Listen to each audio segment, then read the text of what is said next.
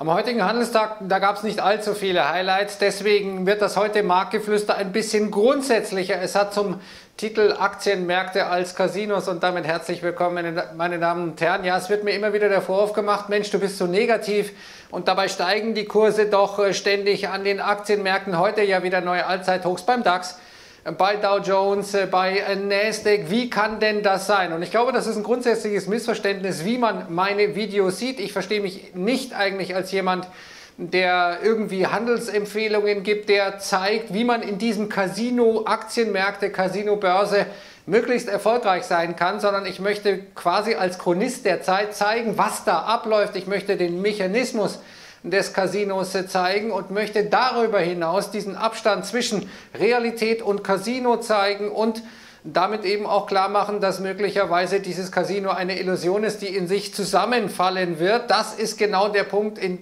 bei dem es in meinen Videos geht. Und ich glaube, das ist ein sehr wichtiger Unterschied, den ich vielleicht mal auf den Punkt bringen muss, weil, wie gesagt, es immer wieder einige Kommentatoren gibt, die sagen, naja, das sei doch alles so negativ. Aber fundamental ist die Situation negativ. Ich glaube, da kann man gar nicht drum rumreden. Seit der Finanzkrise wachsen die Schulden deutlich schneller als die Wirtschaft und das ist besonders in den USA der Fall, wo die Aktienmärkte auf Allzeithoch sind und Allzeithochbewertungen haben, auch in Relation zum Bruttoinlandsprodukt. Und warum sind die Aktienmärkte da, wo sie sind?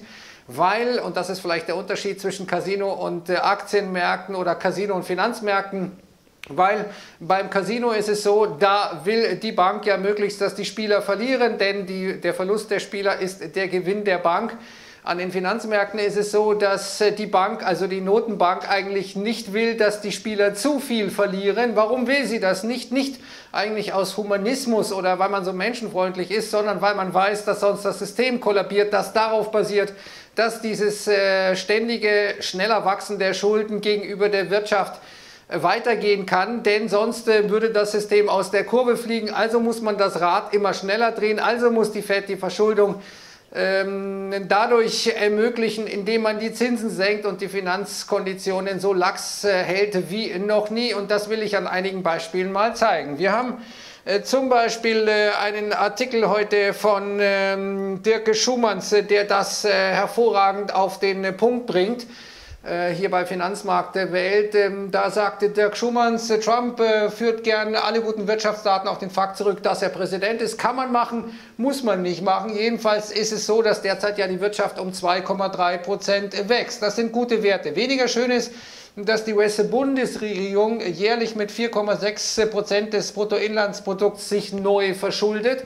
Wachstum 2,3 Prozent, Neuverschuldung 4,6 Prozent des BIPs. Mit anderen Worten, Trump macht aus 4,6 Prozent, die in Form von kreditfinanzierten Ausgaben in die Wirtschaft pumpt, nur halb so viel Wirtschaftswachstum. Das bringt genau das auf den Punkt. Und das sind nur die Kredite, die die Bundesregierung nimmt. Wenn die Neuverschuldung doppelt so hoch ist wie das Wirtschaftswachstum, steigt dadurch die Verschuldung, das ist ja ein durchaus nachvollziehbarer Zusammenhang. Aber es geht noch weiter. Während Unternehmen schon seit geraumer Zeit dazu übergehen, sich auf Kredit selbst von der Börse zu nehmen, durch Aktienrückkäufe konsumieren die Verbraucher auf Pump. Äh, an die Rückzahlung der Kredite wird seltener gedacht. Äh, Menschen, die in den USA älter als 60 Jahre sind, haben noch über 100 Milliarden Dollar an äh, Studentenkrediten offen. Das muss man sich mal vorstellen. Und ähm, US-Verbraucher haben ihre Verschuldung jetzt innerhalb eines Jahres um 4,4 Prozent erhöht. Insgesamt sitzen die 330 Millionen US-Amerikaner jetzt auf mehr als 14 Billionen US-Dollar Schulden, was bereits 70 Prozent des äh, Bruttoinlandsprodukts äh, entspricht. Und es geht noch weiter. Jetzt wird die Rechnung gänzlich unvorteilhaft für Trump. Trumps Regierung pumpt 4,6 Prozent des BIP als Neukredit in die Wirtschaft. Die Verbraucher verschulden sich um 3% des BIPs äh, pro Jahr immer weiter. Und aus diesen 7,6% insgesamt, die ausgegeben wurden, kam am Ende nur 2,3% Wirtschaftswachstum äh, heraus. Und dazu kommen noch die 47% des Bruttoinlandsprodukts in den USA, die Unternehmen auf Kredit halten. Bei denen ist der Kreditberg um 5,3 Prozent gewachsen. Und wenn wir das alles mal zusammenzählen, Unternehmen 5,3 Prozent, äh, Bundesregierung in den USA 4,6 Prozent und Verbraucher 3 Prozent, dann kommen wir auf 9,9 Prozent Neuverschuldung des Bruttoinlandsprodukts, aber schafft damit nur 2,3 Prozent Wachstum. Das heißt faktisch, äh, wird mit einem Dollar Kredit äh, lange nicht äh, ein Dollar Wachstum erzeugt, sondern vielleicht ein Vierteldollar oder 20 Cent. Und das sieht schon nicht mehr nach Best USA Economy in History aus, die Trump ja gerne für sich reklamiert. Das bringt genau das auf den Punkt, was der Fall ist. Heute auch Kommentatoren bei Finanzmarkt der Welt. Die Realwirtschaft hat ausgedient, so schreibt einer. Die Reaktionsgeschwindigkeit der Notenpressen ist noch interessant. Wer tritt am schnellsten? China, Japan, die EU oder unter Donald Stroke. Die Fed-Renditen kommen ja schon länger vorwiegend äh, aus der Fiat-Druckerpresse. Damit wird auch die schrumpfende Fassade Realwirtschaft am Leben gehalten, so könnte man sagen. Äh, Wirtschaft stellt ja auch nicht mehr vornehmlich Waren und Güter für die Verbraucher zur Verfügung. Uninteressant, sie lebt für sich selbst ohne Output im real existierenden Monetarismus. Das könnte man vielleicht sagen. Wir haben nicht einen real existierenden Sozialismus, sondern einen real existierenden Monetarismus, der also praktisch durch die äh, Notenbankpresse hier reinpumpt. Und dann habe ich noch einen Kommentar, den ich äh, interessant finde, auch eines äh, Users auf finanzmarktwelt.de, der sagt, ähm, es ist klar, dass Gelddrucken auf die Dauer nicht funktioniert. Wenn es funktionieren würde, müsste niemand mehr arbeiten. Richtig, dann könnte doch die Notenbank einfach das Geld drucken und keiner müsste mehr zur Arbeit gehen. Da kommt schon so ein bisschen am Horizont die Idee des Helikoptergeldes, dass praktisch die Notenbank den Leuten Geld schenkt. Das wäre dann wahrscheinlich die eigentliche Bankrotterklärung dieses Systems, was mich erstaunt, dass auch äh, gebildete Leute daran äh, glauben. Ein bekannter Schriftsteller hat mal gesagt, schuldenfinanziertes Wachstum kann auf zwei Arten beendet werden. Man macht es selbst mit Einschränkungen und Entbehrungen oder der Markt macht es später auf äh, brutale Weise.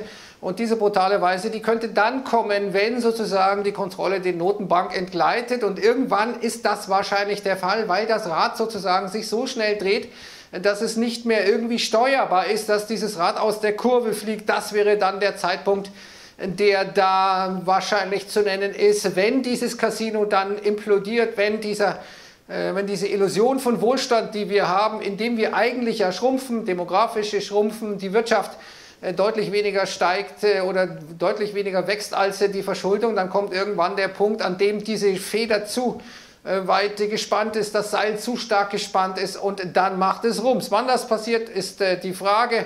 Äh, macht es Sinn, gegen das Casino zu wetten, wenn das Casino doch eigentlich will, dass die Spieler zumindest nicht deutlich verlieren? Das kann man durchaus in Frage stellen. Aber muss man das Casino deswegen gutheißen? Muss man nicht besser eigentlich analysieren, was da abläuft und was da auf uns zukommt? Das sehe ich jedenfalls als meine Aufgabe und nicht hier ähm, Dinge zu tun, die viele andere tun, legitimerweise tun, indem sie eben zeigen, Mensch, hier kann man das machen, hier kann man das machen, mit Long-Position verdient man immer Geld, ist ja alles okay, habe ich überhaupt nichts dagegen aber es ist eben nicht meine Aufgabe, oder zumindest sehe ich nicht als meine Aufgabe. Schauen wir uns die Charts an und gucken mal, was da so los ist. Was wir hier sehen, ist der Nasdaq 100. Natürlich neues Allzeithoch heute. Wie sollte es anders sein? Ebenfalls beim S&P 500. Wenn er denn kommt, die Charts von Capital.com 3375. Und der DAX hat es auch heute geschafft, ein neues Allzeithoch zu generieren. 13.750 Pünktchen aktuell der deutsche Leitindex. Wir haben nach wie vor massive Dollarstärke. 1,0882 Euro Dollar war sogar schon ein paar Pips tiefer. Auch das eigentlich ein kleines Krisensymptom. Dollarstärke ist vor allem schlecht eigentlich für US-Konzerne, Multinationals, die im Ausland Geld verdienen. Äh, wir sehen Gold unbeeindruckt 1568 und Crude Oil trotz deutlich stärker gestiegener Lagerbestände 51,47 Dollar.